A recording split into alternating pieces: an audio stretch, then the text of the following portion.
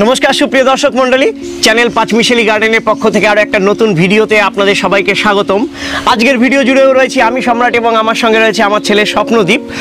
এখন গরম পড়া শুরু হয়ে গেছে, তো বিভিন্ন বাগানে আমরা গরমের ফুল গাছ লাগানো শুরু করে দিয়েছি, বা যারা ফল গাছ করি তারা গরমের পরিচর্যা শুরু করে দিয়েছি। তো ফল গাছ হোক আর ফুল গাছই হোক, আমরা যারা টবে বাগান করি, তাদের বাড়িতে কমন কিছু ফুল গাছ থাকে। আর সেই কমন ফুল গাছের মধ্যে অত্যন্ত পছন্দের একটা ফুল গাছ হচ্ছে বেল ফুল গাছ এবং জুই ফুল গাছ। তো এই বেল ফুল এবং জুই ফুলে প্রচুর পরিমাণে ফুল আসতে চলেছে। কিন্তু আমরা অনেক বাগানিকেই আক্ষেপ করে বলতে শুনি যে তাদের বেল ফুল গাছে ততটা ফুল আসে না বা তাদের জুই ফুল গাছে ততটা ফুল আসে না। তো সেই কারণে আপনাদের আজকে আমি এমন একটা পরিচর্যার কথা দেখাবো, যেটা এই মুহূর্তে আপনাকে সেরে ফেলতে হবে এবং এই পরিচর্যাটা যদি আপনি করে ফেলতে পারেন, তাহলে এক মাস পরেই আপনার গাছ ভর্তি বেল ফুল, জুই ফুল পাবেন। বাড়ি গন্ধে মম করবে বিশ্বাস করুন, এটা একদম হাতে নাতে আপনি প্রমাণ পাবেন। সেই জন্য বলছি, আজকের ভিডিওটা অত্যন্ত গুরুত্বপূর্ণ, বিশেষ করে যাদের বাড়িতে বেল ফুল এবং জুই ফুল গাছ রয়েছে। আপনারা মন দিয়ে দেখুন, আর যারা নতুন নার্সারি থেকে বেল ফুল বা জুই ফুল কিনে আনছেন, তারাও ভিডিওটা দেখুন, কারণ তাদেরও অত্যন্ত কাজে লাগতে চলেছে। আমার এইখানে যে গাছগুলো এখন দেখতে পাচ্ছেন, এতে আমি হাতে কলমে আজকের টোটাল বিষয়টা আপনাদের সামনে তুলে ধরবো। সেজন্য ভিডিওটা গুরুত্বপূর্ণ হচ্ছেই, আপনারা কেউ কোথাও যাবেন না। দেখতে থাকুন, সঙ্গে থাকুন, আপনাদের অত্যন্ত প্রিয় গার্ডেন বিষয়ক চ্যানেল চ্যানেল পাঁচমিশালি গার্ডেন বেল ফুল বা জুই ফুল গাছে এই মার্চ, এপ্রিল থেকেই কিন্তু প্রচুর পরিমাণে ফুল আসা শুরু হয়ে যায়।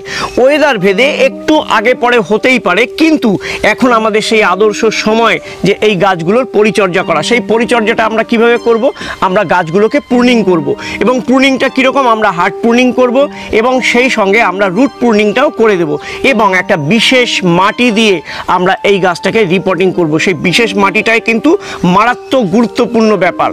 এবং এই গাছটাকে আমরা এখন প্রুনিং কেন করব সেটাও একটুখানি বলি। আপনারা জানেন যে বেল ফুল গাছে নতুন নতুন আগা বেরিয়ে সেই নতুন আগাতে প্রচুর পরিমাণে কুড়ি চলে আসে এবং সেই কুড়িগুলো থেকে ফুলে পরিণত হয়। তো আমাদের এই যে যে সমস্ত বেলফুল গাছটা দেখবেন যে একটু পুরনো হয়ে গেছে, তাতে কিন্তু নতুন শুটস বেরোনোর পরিমাণটা কমে যায়। আমরা সেই জন্য গাছগুলোকে হার্ড প্রুনিং করে দেবো, কোনো চিন্তা নেই। এবং অনেক ক্ষেত্রে আপনারা দেখবেন যে কিছু কিছু গাছে এখনই নতুন নতুন শুটস বেরোনো শুরু হয়ে গেছে। আপনারা চিন্তা করবেন না, তারপরেও আপনারা কিন্তু গাছটাকে অবশ্যই প্রুনিং করে দেবেন। আর আরেকটা সুখবর দিই আপনাদের কাছে। আপনারা তো অনেকেই হয়তো জানেন যে আরেকটা আমার ব্লগ চ্যানেল রয়েছে, বং ছবি। তো সেই বং ছবিতে একটা দুর্দান্ত ভিডিও এসছে। আপনারা আশা করি অবশ্যই গিয়ে একটু দেখে আসবেন। আমাদেরই পাশের গ্রামের একটা ছেলে, কলেজ পড়ুয়া একটা ছেলে, সে একটা মিসাইল আবিষ্কার করেছে এবং অটোমেটিক লেজার গান আবিষ্কার করেছে। ওই ছেলেটা যাতে তার যোগ্য সম্মান পায়, যাতে তার মর্যাদাটা পায়, সেই ব্যবস্থাটা আপনারা করবেন। ভিডিওটাকে একটুখানি শেয়ার করে দেবেন। তো প্রথমেই আমরা এই গাছগুলোকে পূর্ণিং করব বললাম যে হাট পূর্ণিং করব, সেক্ষেত্রে আমরা এরকম একটা কাটার নিয়ে নিয়েছি। আপনারা এরকম একটা কাটার নিয়ে নেবেন, সেটাকে অবশ্যই স্যানিটাইজ করে নেবেন বা ভালো করে সাবান জল দিয়ে ধুয়ে নেবেন। তো আমরা সেটা করে নিয়ে এসেছি অলরেডি বা আপনারা হাইড্রোজেন পারক্সাইড দিয়েও এটাকে জীবাণুমুক্ত করে নিতে পারেন। তবে যদি নাও করেন, এমন কিছু অসুবিধা নেই, সেটাও আমি বলে দিলাম। বেলফুল হোক বা জয়ফুল হোক, আপনাদের প্রুনিং করার সময় একটা জিনিস মাথায় রাখতে হবে যে আমরা কোথার থেকে কাটবো। আপনারা দেখবেন যে এরকম এই যে পাতা বেরিয়েছে, এই যে যে পাতাগুলো বেরোয়, এই পাতায় একটা পর্ব থাকে। আমরা যে কোনো পর্বের ওপর থেকে কাটবো। তো যেখান থেকে কাটি, সেটা মোটা ডালি হোক আর সরু ডালি হোক। তো এখন আমি যে বললাম যে হার্ড প্রুনিং করব, আমরা সেরকম, এরকম প্রতিটা পর্ব থেকে এইভাবে গাছগুলোকে কেটে দেব। এবং আপনাদের আরেকটা কথা বলে দিই যে এই যে যে ডালগুলো আমরা পাচ্ছি এই ডালগুলো কিন্তু আপনারা নরম কোনো ভেজা মাটিতে পুঁতে দিলেই কিন্তু এগুলো খুব সুন্দর চারা বেরিয়ে যাবে। আপনারা দেখতে পাচ্ছেন যে যে এতগুলো ডাল আমি কেটে ফেলে দিলাম, তো এগুলোকে ফেলব না, এগুলো আমি ছোট টুকরো করে পরে লাগিয়ে দেবো। তো এরপরে আমাদের যেটা করতে হবে সেটা হচ্ছে এই কাটা অংশগুলোকে সাব ফাঙ্গিসাইড আমরা লাগিয়ে দেবো বা যে কোনো ধরনের ফাঙ্গিসাইড আপনারা লাগিয়ে দিতে পারেন যাতে ডাইভ একটা না হয়। আর যারা একদমই লাগাতে পারবেন না, তারাও চিন্তা করবেন না, প্রথম কদিন একটু ছায়া রাখবেন, তাহলেই কোনো অসুবিধা হবে না। এইখানে আপনারা আরেকটা গাছ দেখতে পাচ্ছেন। এই গাছটা মোটামুটি আমাদের রেডি হয়ে গেল পূর্ণিং করাটা। আর এইখানে একটা গাছ দেখছেন, এইটার ফার্স্ট পূর্ণিং এখন হবে। তো সেই জন্য এইটাকে অবশ্যই আমরা একদমই ছোট করে কাটবো। আর দেখুন, এই কাটাকাটিটা আপনারা যদি প্রতি বছর ঠিকঠাক করে করতে পারেন, তাহলে প্রতি বছর কিন্তু প্রচুর পরিমাণে নতুন ডাল বেরোবে এবং সেই নতুন ডালে প্রচুর পরিমাণে আপনারা ফুল পাবেন। আমাদের এই গাছটাও প্রুনিং করা হয়ে গেল। এবার আমাদের এই গাছগুলোকে আমরা রিপোর্টিং করব। এবার বলি যে আমাদের গাছগুলোকে রিপোর্টিং কেন করতে হবে? আমরা এই গাছগুলোকে একটা বছর আগে বসিয়েছিলাম এবং আপনারা দেখতেই পাচ্ছেন যে পুরো শিকড়ে শিকড়ে বোঝাই হয়ে গেছে গাছগুলো। অতএব আমরা যদি উপরে মাটিটা খুঁচে মালচিং করে কিছু খাবারও দিই, তাহলেও কিন্তু এই গাছগুলো ততটা অভাব মেটাতে পারবে না, খাদ্যের অভাব মেটাতে পারবে না। আপনারা এইখানে যে গাছটা দেখতে পাচ্ছেন দেখতে পাচ্ছেন যে শিকড়ে এই টপটাকে ফাটিয়ে দিয়েছে। আমরা যদি টপটা তুলে নিই তাহলে দেখব যে দেখুন, শিকড়ে এর কিন্তু আর কোনো জায়গা অবশিষ্ট বেঁচে নেই, যেখানে একে আমরা খাবার দিতে পারব। সেই কারণে একে অবশ্যই আমাদের রিপোর্ট করতে হবে। আর এই সমস্ত বড় টপগুলোর ক্ষেত্রে আমরা মাটিটা কীভাবে রিমুভ করব, সেটা আসুন একটুখানি দেখিয়ে দিই। আমরা এই টপটাকে এইভাবে হাতের সাপোর্টে এইভাবে ধরবো। এই আপনারা দেখতে পাচ্ছেন, হাতের সাপোর্টে ধরে এইভাবে উল্টে দেবো। জাস্ট এইভাবে উল্টে দেবো আর একটা লাঠিতে এরকম করে আস্তে একটু এইভাবে হালকা করে আমরা গুঁতো দেবো। এই যেভাবে দিলাম, দেখলেন টুকটুক করে গুঁতো দিলাম, তাতেই কিন্তু এই যে মাটিটা পুরো এই যে খুলে বেরিয়ে এলো। টপ থেকে বের করার পরে আপনারা দেখতেই পাচ্ছেন যে এখানে পুরো শিকড়ে শিকড়ে কিন্তু বোঝাই হয়ে গেছে। দেখুন, এর আর কিন্তু খাবার নেওয়ার বা এর শিকড় চলাচলের তেমন কোনো জায়গাই ছিল না। তো এদেরকে এখন আমাদের এই রুটটাকে আমরা পূর্ণিং করব। তো সেক্ষেত্রে আমরা কি করব? গাছটাকে এইভাবে ধরে এরকম দা বা কোনো একটা কিছু সাহায্যে আমরা এইভাবে ম্যানুয়ালি রুটটাকে কেটে দেব। এই যে দেখুন, শুধুমাত্র এইভাবে। আমাদের ভেতরে যে পুরনো মাটি সেটাকে ছাড়ানোর দরকার নেই। আমরা শুধুমাত্র এইভাবে বাইরের থেকে শেকড়গুলোকে পুরো কেটে দেব।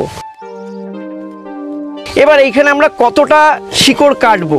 এক্ষেত্রে আমরা যে পরিমাণে ডাল কেটেছি, অর্থাৎ আমাদের ডালটা যতটা ছিল, তার যত অংশ কেটে ফেলেছি, আমরা শিকড়টাও সেইভাবেই কাটবো। যেমন ধরুন, আমি প্রায় ফিফটি পার্সেন্ট ডাল কেটে ফেলেছি সেই জন্য আমি কিন্তু এই মুহূর্তে ফিফটি পার্সেন্ট শিকড় অবশ্যই রিমুভ করে দিতে পারি। এবং এই উপরের মাটিও কিছুটা এইভাবে আমরা ফেলে দেব। তার কারণ উপরের মাটিটা কিন্তু অনেক পুরনো মাটি ছিল। আমাদের উপর এবং পাশের সবটা কাটা হয়ে গেল। এইবার হচ্ছে আমাদের নিচেটা। দেখুন, নিচেটায় এই যে যে শিকড়টা ছিল, এইবার আমরা সরাসরি এইভাবে দা বসিয়ে এইভাবে কেটে নেব। ব্যাস, আমাদের কিন্তু টোটাল গাছটা পূর্ণিং মানে রুট পূর্ণিং। এ, দেখতেই পাচ্ছেন যে রুট পূর্ণিং এবং আমাদের ব্রাঞ্চ পূর্ণিং কমপ্লিট হয়ে গেল। তো এরপরে আমাদের গাছটাকে পটিং করতে হবে, আর পটিং করার জন্য আমি এই যে এরকম একটা টব নিয়ে নিয়েছি। এটা মোটামুটি ধরুন সাত আট ইঞ্চির একটা টব নিয়ে নিয়েছি। সেটাই যথেষ্ট এই বেল ফুল বা জুই ফুল গাছের বসানোর জন্য। তো এবার এই টবের এখানে যে ছিদ্রটা দেখছেন, সেটা এরকম একটা খোলামকুচি উল্টানো খোলামকুচি দিয়ে এইভাবে আটকে দেবো। এবং আমরা কিছুটা নুড়ি পাথর দিয়ে এখানে একটা বেড তৈরি করে দেবো। এবং ওই বেডের ওপরে আমরা এইভাবে বিল্ডিং তৈরির যে স্যান্ডটা আছে, বালিটা, সেই বালি দিয়ে এরকম আরেকটা আস্তরণ দিয়ে দেবো। তাতে একদম জলটা খুব সুন্দরভাবে বেরিয়ে যাবে, কিন্তু মাটি গিয়ে ছিদ্রপথটা কিন্তু আটকে দেবে না। ব্যাস, আমাদের বেড কমপ্লিট এইবার আমরা টবে বেলফুল গাছটাকে পটিং করে দেবো, আর বেলফুল গাছটাকে পটিং করার জন্য এই যে আমি মাটি রেডি করে নিয়েছি অলরেডি তো এই মাটিটা কিন্তু খুব গুরুত্বপূর্ণ, মাটিটা খুব ভালোভাবে মাথায় রাখবেন। সেই মাটিটা আমি দিতে থাকি আর আপনাদের বলতে থাকি। এখানে ধরুন আমাদের এরকম একটা মাটি তৈরি করতে হবে, যে মাটিতে বেশ কিছুটা খাবার থাকবে, কিন্তু মাটিতে কিন্তু জল দাঁড়াবে না। তার কারণ জল সব গাছ পছন্দ করে, কিন্তু কোনো গাছই চায় না যে তার গোড়ায় জল জমে থাকুক। সেই জন্যে শীত, গ্রীষ্ম, বর্ষা আমাদের টবে যদি জল জমে তাহলে কিন্তু সেই গাছে কখনোই আমরা ভালো ফুল ফল পাই না। তো এর ক্ষেত্রেও সেই একই রকম আমরা সেরকমই একটা মাটি তৈরি করব। এইখানে আমি চার ভাগ মাটি নিয়েছি, তিন ভাগ কম্পোস্ট নিয়েছি দু ভাগ বালি নিয়েছি এক ভাগ কোকোপিট নিয়েছি, অর্থাৎ চার, তিন, দুই, এক। তো এই যে যে মাটিটা, এর মধ্যে কিন্তু দেখুন খাবারের পরিমাণটাও যথেষ্ট ভালো আছে এবং মাটির সঙ্গে আমরা কিছুটা বালি কেন মেশাবো? যাতে মাটিতে জলটা জমে না থাকে, বিশেষ করে বর্ষাকালে। আর আরেকটা কথা, যাদের অলরেডি বেলে মাটি, তারা কিন্তু বালির পরিমাণটা একটু কম মেশাবেন। আর যাদের এঁটেলো মাটি, তারা অবশ্যই দুভাগ বালি মেশাবেন। কোন বালিটা মেশাবেন? আপনারা বিল্ডিং তৈরির যে লাল বালি, সেই বালিটাও মেশাতে পারেন। আর যদি বেলে মাটি মেশান, তাহলে কিন্তু যদি আপনি চার ভাগ মাটি নেন, তাহলে চার ভাগই বালি মেশানোর কথা। তো সেই কারণে আমি বলব, দুভাগ তিন ভাগ মাটি নেবেন, তিন ভাগ বালি নেবেন তিন ভাগ কম্পোস্ট নেবেন, এক ভাগ কোকোপিট নেবেন মানে যারা বেলে মাটি মেশাবেন। তো যাই হোক, আমাদের মাটিটা আমরা দিতে থাকি, আর কোকোপিটটা দেবো এই কারণে, কারণ আমাদের জল মাটিতে যদিও দাঁড়াবে না, কিন্তু মাটিটা সবসময় একটু ময়শ্চার থাকবে, একটু ভেজা ভেজা থাকবে, এইটা কিন্তু আবার বেল গাছ, বেল ফুল গাছ খুব ভালো পছন্দ করে। তো সেই কারণে আমরা অবশ্যই কিছুটা কোকোপিট মেশাবো, আর কোকোপিট মেশালে মাটিটা একটু ঠান্ডাও থাকে, সেটাও কিন্তু গাছের ক্ষেত্রে ভীষণ কার্যকরী একটা ব্যাপার। এরপরে এর সঙ্গে আমাদের অ্যাডিশনাল আরও কিছু মেশাতে হবে, সেটা আমরা সবাই জানি। ধরুন এই রকম একটা টবের ক্ষেত্রে আপনারা এক চামচ হাড় গুঁড়ো মেশাবেন, দু চামচ শিংকুচি মেশাবেন। আর যদি আপনারা রাসায়নিক দিতে চান, তাহলে এর সঙ্গে অবশ্যই আপনারা পটাশ মেশাতে পারেন, হাফ চামচ। সেটা এসওপি হোক আর এমওপি হোক, মেশাতে পারেন। এর সঙ্গে আপনারা অবশ্যই দু চামচ নিমখোল মেশাবেন। নিমখোলটা মেশাবো যাতে মাটিতে কোনো রকম পোকামাকড়ের আক্রমণ না ঘটে, সেই কারণে আমরা মাটিতে নিমখোলটা মেশাবো। আর এর সঙ্গে আমরা মেশাবো সাব ফাঙ্গিসাইড বা যে কোনো ধরনের ফাঙ্গিসাইড হাফ চামচ। তার কারণ মাটিতে কোনো রকম ফাঙ্গাস অ্যাটাক হবে না। সব থেকে বড় ব্যাপার, এই যে যে গাছে আমরা প্রচুর পরিমাণে রুট প্রুনিং করেছি, আপনারা সবাই দেখলেন তো গাছটা কিন্তু প্রচুর পরিমাণে একটা ধাক্কা খেলো। এই ধাক্কাটা কাটানোর জন্য আমরা অবশ্যই এই রকম এক একটা টবের ক্ষেত্রে আট ইঞ্চি টবের ক্ষেত্রে ছোট চামচের হাফ চামচ থেকে এক চামচ এপসাম সল্ট মাটির সঙ্গে মেশাবো। যারা অলরেডি লাগিয়ে ফেলেছেন এপসাম সল্ট দিতে পারেননি বা ভুলে গেছেন, আপনারা অবশ্যই জলে গুলে, হাফ চামচ এপসাম সল্ট গুলে অবশ্যই গাছের গোড়ায় দিয়ে দেবেন। এইভাবে পটিং করার পরে বা এইভাবে পুরো পূর্ণিং করার পরে আপনারা গাছগুলোকে কিন্তু অন্তত পাঁচ সাত দিন ছায়া জায়গায় রাখবেন। তো আমাদের পটিংটা সম্পূর্ণরূপে কমপ্লিট হয়ে গেল। এবার আমরা এই গাছটায় জল দিয়ে দেব এবং আপনারা যে কোনো গাছই পটিং করার পরে অবশ্যই সেই গাছে জল দিয়ে দেবেন। এরপরে সামান্য আর একটু পরিচর্যার কথা বলে দিই, যেটা হচ্ছে এই বেল ফুল গাছটায় বিভিন্ন রকমের লেদা পোকার আক্রমণ দেখা যায়। সেক্ষেত্রে আপনারা নিয়মিত নিম তেল যদি স্প্রে করেন নিয়মিতভাবে, তাহলে কিন্তু সেই সমস্ত পোকামাকড়ের হাত থেকে আপনারা রেহাই পাবেন। আর গাছে যখন কচি কচি পাতা বেরোনো শুরু হবে, তখন আপনারা যে কোনো একটা অনুখাদ্য বা সিউইড এক্সট্র্যাক্ট আপনারা গাছে দিয়ে দিতে পারেন। সেক্ষেত্রেও দুর্দান্ত আপনারা রেজাল্ট পাবেন। আর যখন ফুল আসতে শুরু করবে, সবে সূক্ষ্ম সূক্ষ্ম ফুলের কুঁড়ি দেখা দেবে, তখন অবশ্যই আপনারা একটা পটাশ স্প্রে করে দেবেন। মানে এসওপি জিরো জিরো ফিফটি যে পটাশটা সেই পটাশটা অথবা গাছের গোড়ায় কিছুটা কলার খোসা ভেজানো জল দিয়ে দেবেন, অথবা মিউরিয়েট অফ পটাশ সেটা হাফ চামচ গাছের গোড়ায় আপনারা দিয়ে দিতে পারেন। আর এই গাছটার ক্ষেত্রে আমি বলব যে রাসায়নিক আপনারা ব্যবহার করতেই পারেন, কেননা এই গাছটা আমরা মোটামুটি সারা বছরে আর তেমন কোনো পরিচর্যাই করি না মাটিতে, পরিচর্যা করা লাগেও না এই গাছের ক্ষেত্রে। তো বেলফুল গাছটাকে যদি আপনারা এইভাবে পটিং এবং পরিচর্যা করেন, আমি হলপ করে গ্যারান্টি দিয়ে আপনাকে বললাম যে আপনি যে পরিমাণে ফুল পাবেন, চমকে যাবেন। আর আরেকটা গোপন কথা আপনাদেরকে বলে দিই, দেখবেন যে বেল ফুল গাছে হঠাৎ হঠাৎ করে একটা সাকার ডাল বের হয় ওয়াটার সাকার মানে সেইটা একটু লতানো গোছে লম্বা হয়ে বেরোতে শুরু করে। ওই ডাল যখনই বেরোবে, যখনই দেখবেন যে ডালটা লম্বা হতে শুরু করেছে, আপনার টুক করে ডালটা কেটে দেবেন, কোনো চিন্তা করবেন না, কেননা ওই ডালে কিন্তু ফুল হবে না, শুধু লতার মতো লম্বা হয়ে চলে যাবে।